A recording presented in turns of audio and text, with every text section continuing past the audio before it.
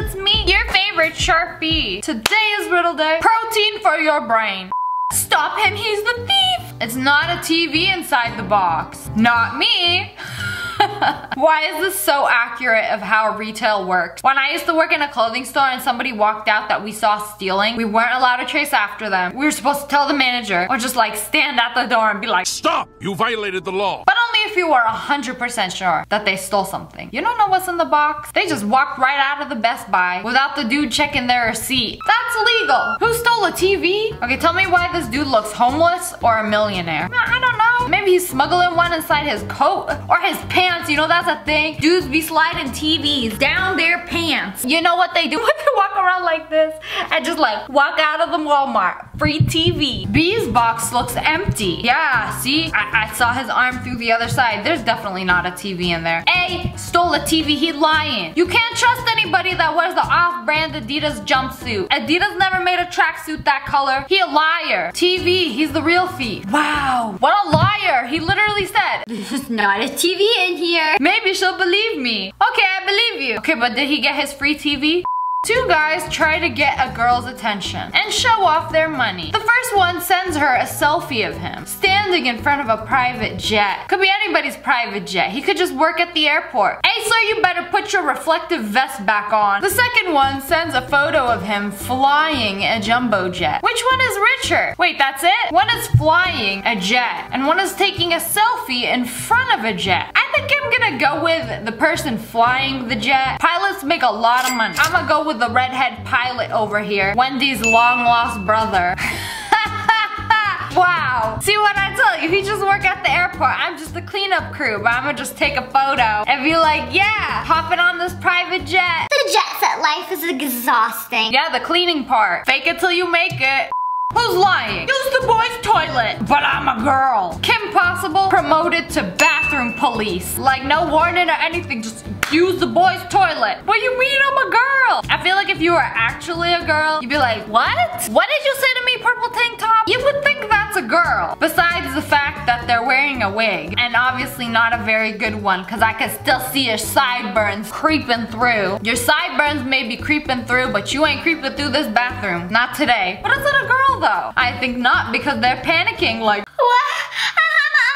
a wig? Y'all hear that? You wear a wig, and it's not a very good wig. You're obviously not a girl. Logic. Literally, nobody will ever call you out on this. Unless you got a full beard and a Ronald McDonald wig on and try to use the women's restroom. Okay, I would be there to stop you like, no.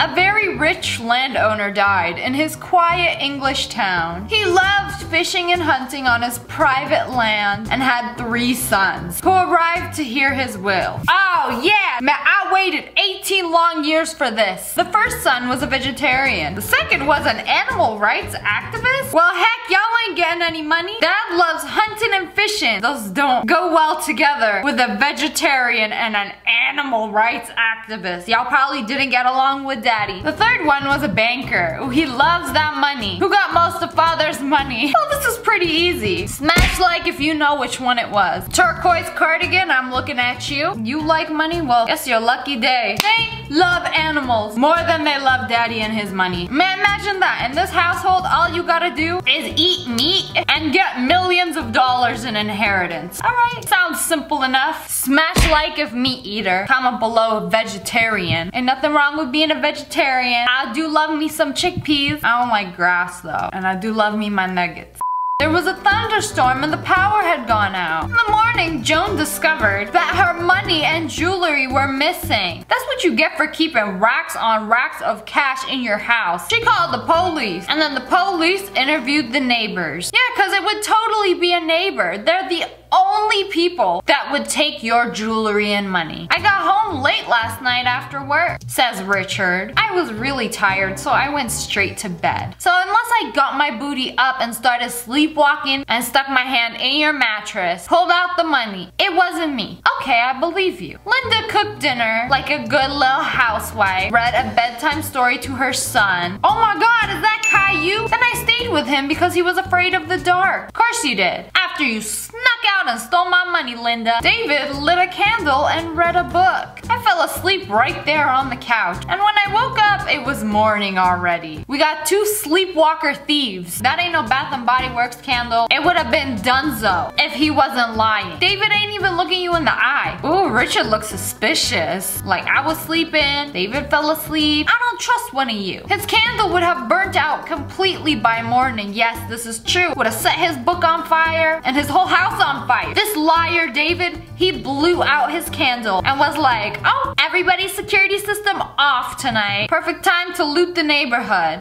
Which one of these dudes in jail is the richest? Who got the most money? We talking about jail money? Like I could go to the commissary and buy all the ramen noodles. Or like a real life. You know, maybe I'm gonna go with A because he got a cell phone. Not a lot of dudes in jail be just like chilling there talking on a cell phone. Where did you get that from? You must got like hookups. You buying everybody ramen noodles so that they could get you a phone. He probably traded it for some Doritos. All this jail food talk reminds me of this video I watched the other day. Ever have a chili cheese dog top ramen hot pocket? This is everything you'll need. Fill your top ramen up with the hottest running water you can get. Let it sit for 10 seconds and dump it out. Chop up your pepperoni sticks, crush up your Doritos, add your cheese on top, top that off with your chili beans. You basically make this mess of Doritos, beans, nacho cheese, hot dogs, and then put it inside a square of ramen noodles, right? Let it sit for five minutes. You take it out and you got a freaking ramen burrito. And you got a whole entire ramen burrito. Man, they out here eating good in the correctional facility. But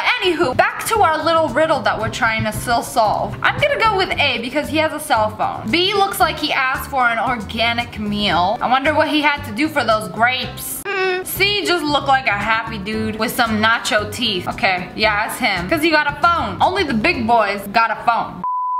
Three friends met in a cafe. They hadn't seen each other for months and had lots of things to chat about. My husband and I went to the capital of the United States. You mean Washington, D.C.? How did you like New York? Wow, you are an idiot.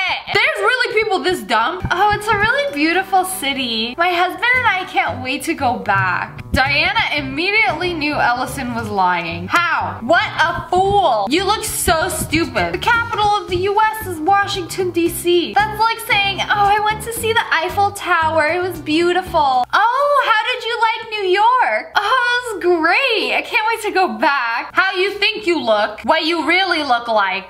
What's the purpose of this?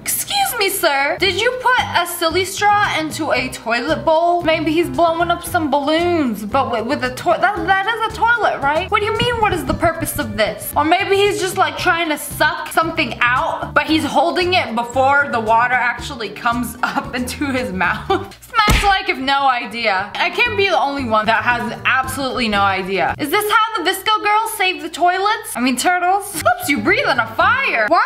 Bro, where do I even begin? First of all, if you are in a building that is on fire, you're gonna try to get out. You're not gonna chill in the toilet and be like, hmm, do they have this like behind the toilet, maybe perhaps attached to the plunger or something? Where do you get this contraption in the first place? And then stick it all the way in. Make sure you don't get any toilet water. You have to stick it in at just the right angle so that you can breathe in. Oh man, you're gonna breathe in that water. Public toilet water, you're breathing it in. There might be a little humidity in the air. I don't know. This could actually be a completely legitimate thing and I'm just an idiot.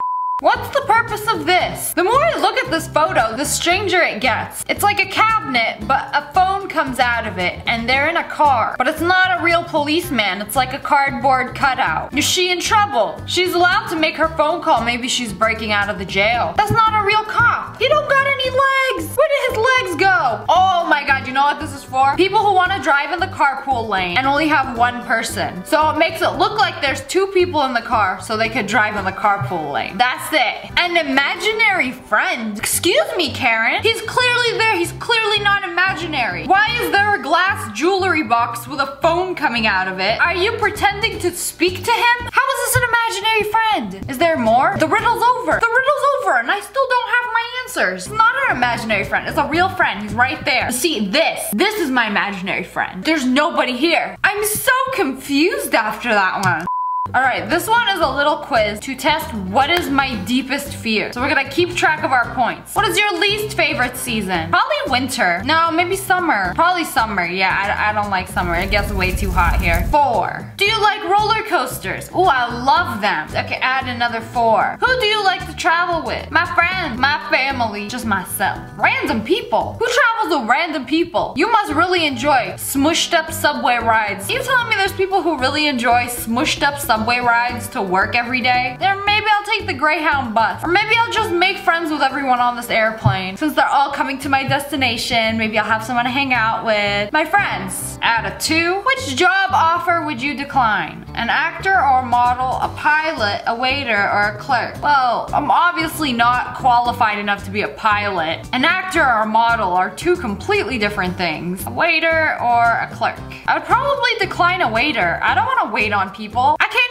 wait for my food. Yeah, yeah, we ain't doing that. The place you feel least comfortable about. A dark room. A hospital. A tall building. An old building. Mmm, probably a hospital. I really don't like hospitals. I don't know what it is. It's very hard for me to like breathe in a hospital. Maybe because there's death in the air. The worst gift you could imagine. A trip.